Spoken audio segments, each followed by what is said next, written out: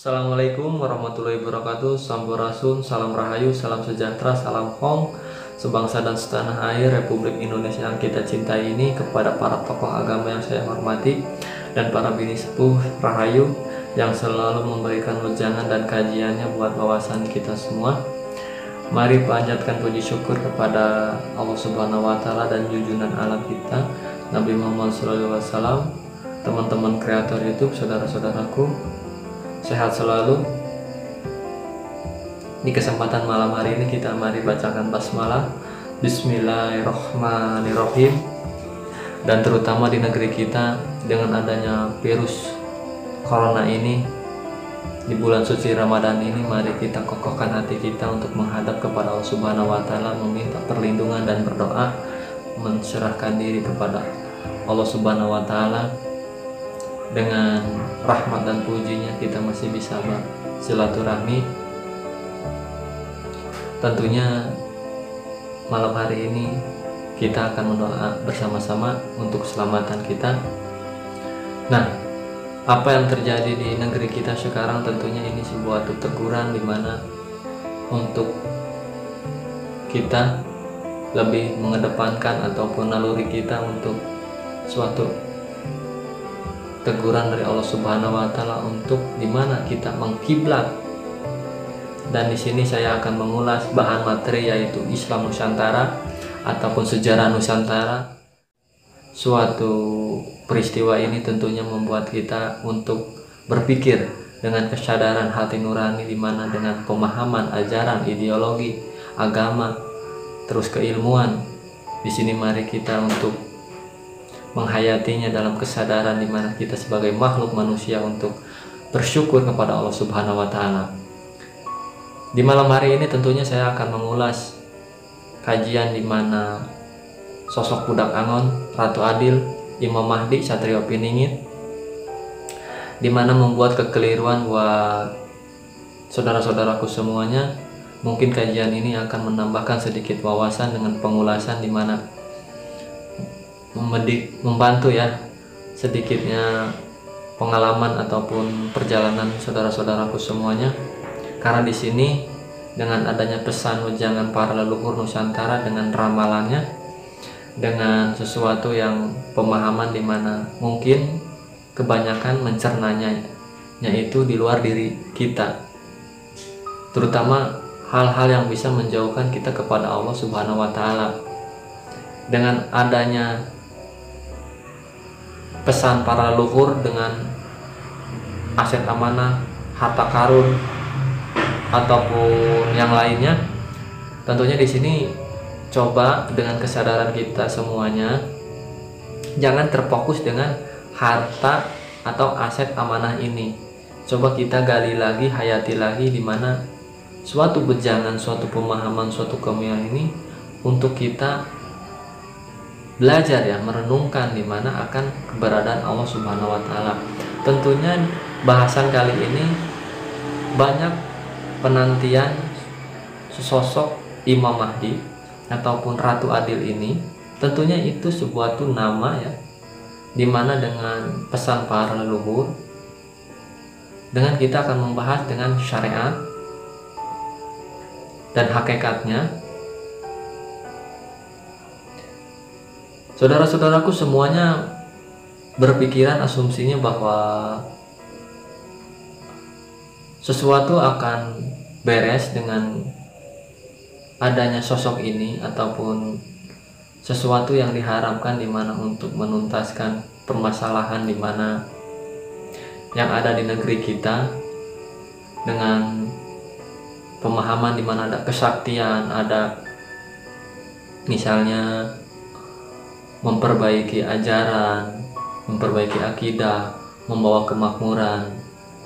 Nah, di sini coba kita renungi lagi, hayati lagi. Tentunya ini di mana sesuatu pemahaman untuk syariatnya kita itu tidak memiliki apa pun ya. Di sini hak kuloh, haknya Allah di mana sesuatu yang disebut syariat ini tentunya dohir ya kelihatan dengan mata. Nah, di sini coba kita pahami lagi. Sesuatu yang berkaitan dengan pencarian ataupun penantian ini dengan sosok pemimpin Ratu Adil ini coba kita lihat dengan syariat di mana jasad kita, ruh kita ataupun badan kita, nyawa kita yaitu milik Allah Subhanahu wa taala. Karena kita dicipta diciptakan untuk menghadap kiblat ya. Pemikiran kita ucapan kita hati kita rasa kita menghadap kiblat satu arah di mana kita untuk menyadari kita tidak ada upaya dan tiada daya ya untuk memohon perlindungannya, memohon ampun kepadanya. Hakikatnya di sini dengan keilmuannya, dengan kesaktiannya, dengan bisa membawa permasalahan yang ada di negeri kita. Namun di sini saudara-saudaraku semuanya sedikitnya ada beberapa yang mungkin keluar dari pemahaman ini karena begitu banyak eh, sesuatu yang kita tidak mengerti sebenarnya ini apa yang dipermasalahkan apa yang direbutkan karena ini semuanya itu hanya milik Allah hidup kita mati kita harta kita, jasad kita, ruh kita. Dan pahamilah itu buat saudara-saudaraku semuanya. Karena sesuatu porsi apa pun yang kita cerna, saudara-saudara pahami, yaitu tentunya di bidang masing-masing dengan alur cerita kehidupan masing-masing. Janganlah bertanya keluar dari diri kita. Karena kalau kita bertanya ke orang lain, maka jawabannya akan beda dengan apa yang ada di diri kita. Karena orang lain pasti akan menjawab dengan porsi di bidangnya. Nah, di sini kesadaran kita, hakikat kita memintalah kepada Allah Subhanahu wa taala untuk petunjuk, untuk bimbingan, yang diridhoi oleh Allah Subhanahu wa taala. Adapun pemahaman tentang sejarah dengan aset amanah ini tentunya jangan keliru buat saudara-saudaraku semua. Coba jujur ya dengan hati nurani kita. Sebenarnya ini kita berketuhanan apa tidak?